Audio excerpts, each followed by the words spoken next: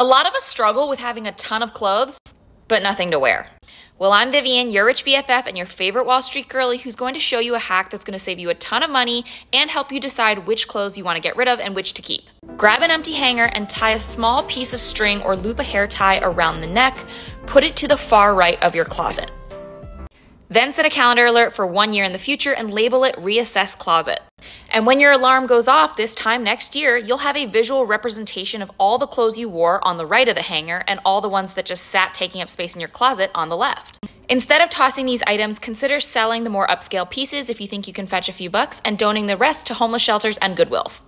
If you want to learn more about looking fashionable while prioritizing your financial wellness, check out my conversation with Karen Blanchard. She's a fashionista and stylist. She's our guest on this week's episode of Net Worth and Chill, and you can listen wherever you get your podcasts.